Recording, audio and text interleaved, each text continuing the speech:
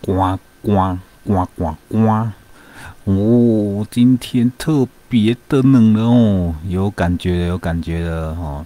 虽然小编现在在上班，然后带大家赶快来飞一下。今天十二月二十一号，没错，我们二零二三年呐进入倒数的阶段了哦，剩下十天可以好好享受了哦。来，现在看到的是。呃，骊山的呃云端上的椰蛋树哦，没有点灯哦。这个是骊山圆环，骊山宾馆前方哦。呃，可以看到蛮多车子的哦，代表这今天还蛮多客人的呢。今天我们住宿率也还不错哦，有将近八成的住宿率哦，算起来算不错了哦。那天气明显的就是湿湿冷冷的哦，不过依照往例哦，小编如果在上班的话哦，看到雪的机会可能就不大了。然后 不过一样哦，看看呃，我们我自己感觉温度还不够冷，然后温度还不够冷。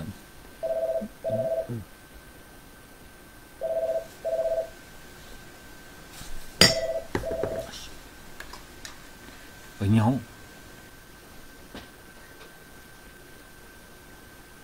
有怎么？嘿嘿。对。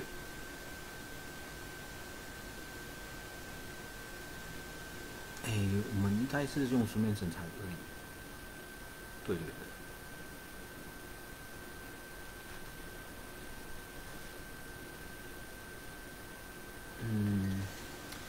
应该也是这两天，我要问一下我们组长。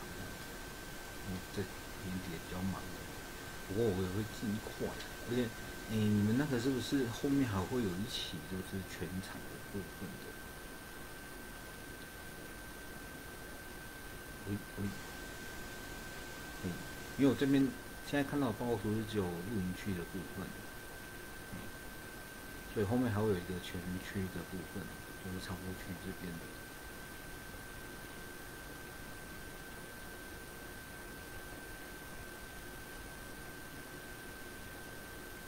嗯，尽量可能都是年初的部分，因为我们主要年底的话会先把露营区那那个部分看到先标出去。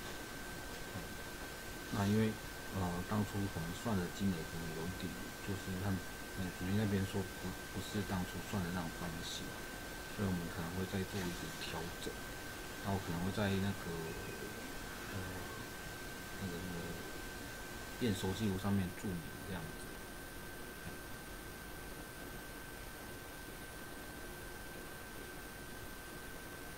对，应该就会，因为应该没有什么问题，就是可能要做一个金额的修改而已。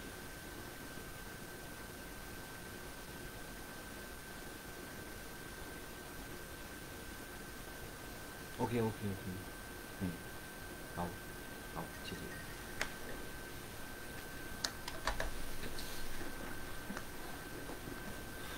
哎呀，拍仔要认真上班嘛，吼。呃，因为刚才有已经飞出去一趟了，这个是预录的画面。那现在看到前方的是，我们呃，即将在二月份会进行开园的千元。千元的冬天，其实它的樱花树的叶子也会落下来，吼，会变色。哦，呃，上个呃，应该说月初的时候，应该都会看到小编在飞这边的时候，这边是整片黄橙橙的，吼，很漂亮。那现在其实已经进入。樱花树的休眠的时间呢？哈，可以看到叶叶子也都掉光光啦。哈，呃，山上温度，我现在大概户外的温度大概八度左右，体感大概只有五六度左右。哈，对，所以，我我小朋友会说，呃，我们感觉哦，还没有到那个下雪的温度，然后下雪温度大概要在零度左右。哈，就是，呃，基本上。遇到下雪的话，吼，这个这个温度还要再再低一点呐，哦。合湾山下雪时，例行产业道可以行驶到骊山吗？目前是都可以的，吼，都可以的。例行可以到从我们呃清境哦，然后一直到我们福州战农场都没有问题。不过下雨天的部分，它有几段路还是有在崩塌的，要随时注意哦。如果有下雨下蛮大雨的话，我都还是不建议行驶例行产业道路的哦。但是因为下雪的部分哦比较麻烦，然后看到这个也是这是我们波斯菊哈，波斯菊我们基本上接下来会做一个采集它的种子的动作了哈。那苹果园、水蜜桃园都已经进入果树的休眠的时间了，十二月底了嘛哦。这些果树开始进入它的冬季的休眠时间，嗯，不是死掉哦，很有一些婆婆妈妈上来哦，你怎么你拿我狗诶，你狗弄 Q，你狗搞死掉了哦，没有啦，那个只是在睡觉哦。十二月、一月、二月、三月哈，苹果树都是在睡觉，睡到四月清明节之后哈，才开始春暖花开哦。很冷很冷，如果上山来，呃，基本上我觉得追不到雪啦。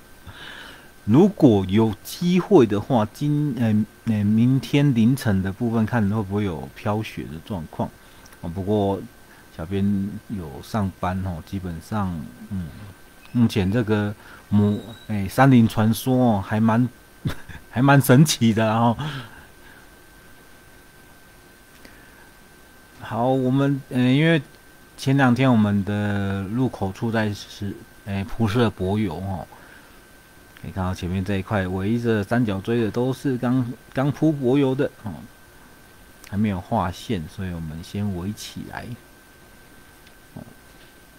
然后松芦啊、鸳鸯湖的枫树哦，现在都已经掉光光了哦，叶子都掉烂掉掉啊。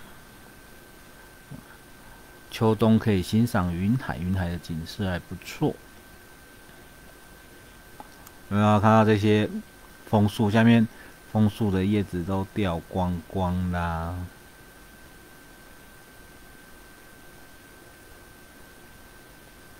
哈哈哈！嗯，啊，鸳鸯湖，鸳鸯湖，呃，现在也是进入冬季的萧瑟的景景观。我今天比较特别是海域哈，就是鸳鸯湖路口下有一片海域，今年竟然没有受到霜害诶，今年真的是呃比较偏暖哦。如果往常往年的话，大概十二月的话，这些海域啊应该都被冻伤了吼。今年是还有吼，生也未歹然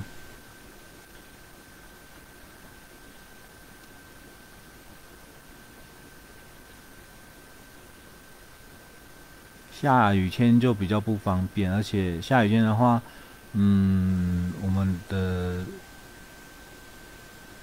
比较原始的地方草地的话会非常的滑，因为有雨水哈，草地会很滑。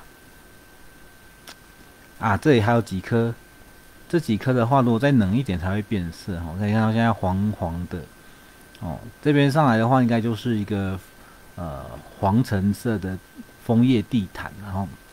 这里是鸳鸯湖的靠近松庐这一区哦，这个山丘。那现在这个黄色的还没有转色的，这个是枫香哦。枫香要很冷、很冷、很冷，它才会变色，才会变红。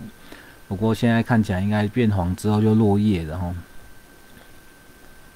为什么叫鸳鸯湖？因为鸳鸯湖有一个凄美的爱情故事哦，有空再讲给大家听。嗯。好啦，简单的说一下，再给大家今天十二月二十一号，呃，礼拜四农场寒流来的风景。不会下雪啦，不会下雪啦。好，大家拜拜。